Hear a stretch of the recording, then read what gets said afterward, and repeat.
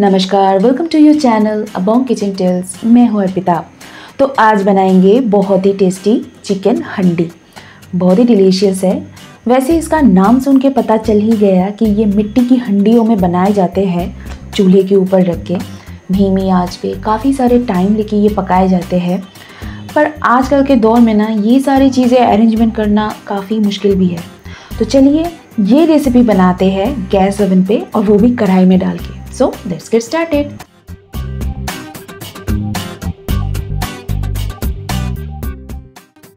तो ये रेसिपी ना आप चिकन मैरिनेशन के बिना ही बना सकते हैं। जैसे कि आज मैं बना रही हूँ।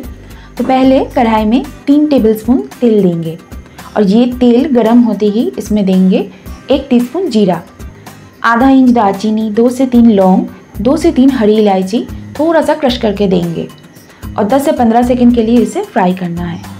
तो मेरे लगभग सारे वीडियोस में आप देख सकते हैं कि मैं हमेशा गरम मसाला तेल में डालने से पहले थोड़ा सा क्रश करके देती हूँ। इसे करने से ना अच्छा सा फ्लेवर आते हैं, ऐसा मुझे लगते हैं। तो फ्राई करने के बाद अब देंगे एक कप बारीक कटी हुई प्याज और इसे अच्छे से फ्राई करना है। लगभग तीन से चार मिनट तक फ्राई करने के बाद ऐसा ब्राउन कलर बन जाएगा, ये देखिए। और अब देंगे इसमें दो टेबलस्पून अदरक लहसुन का पेस्ट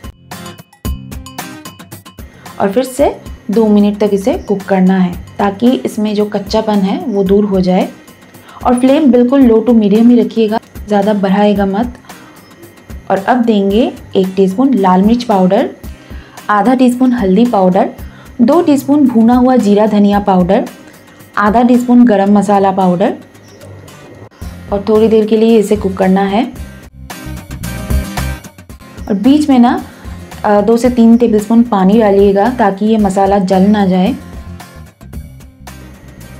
तो लगभग तीन मिनट तक इसे पकाना है और फ्लेम बिल्कुल लो टू मीडियम ही रखिएगा।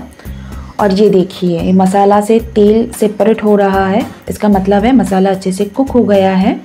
और अब देंगे इसमें चिकन के पीसेस तो यहाँ 600 ग्राम चिकन है। चिकन आप बोनलेस या विद बोन ले सकते हैं।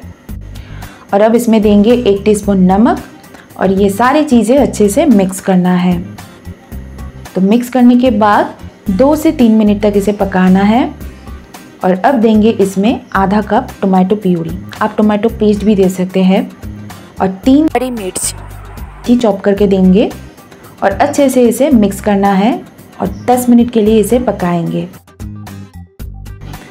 तो 10 मिनट बाद ये देखिए अब इसमें देंगे एक चौथाई कप दही। फिर से इसे मिक्स करेंगे। और अब इसमें देंगे दो तिहाई कप गर्म पानी और एक टीस्पून कसूरी मेथी। और फिर से लीड बंद करके 10 से 15 मिनट के लिए लो फ्लेम में कुक करना है।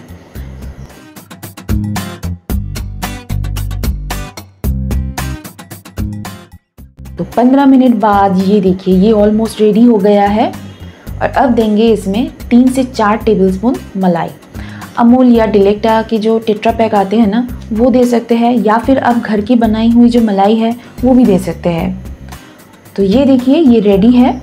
अब गैस बंद करके बारीक कटी हुई धनिया पत्ता देंगे और लीड बंद करके इसे चार से पाँच मिनट के लिए, या फिर जब तक आप सर्व ना करें, तब तक के लिए इसे लीड बंद करके रखना है स्टैंड बाई मोड पे, ताकि इसमें धनिया पत्ता की जो फ्लेवर है ना, वो अच्छे से आ जाए। तो बन गया है बहुत ही टेस्टी चिकन हंडी। और इन्हीं स्टेप फॉलो करके गैस पे आप बड़े ही आसानी से बना सकते हैं।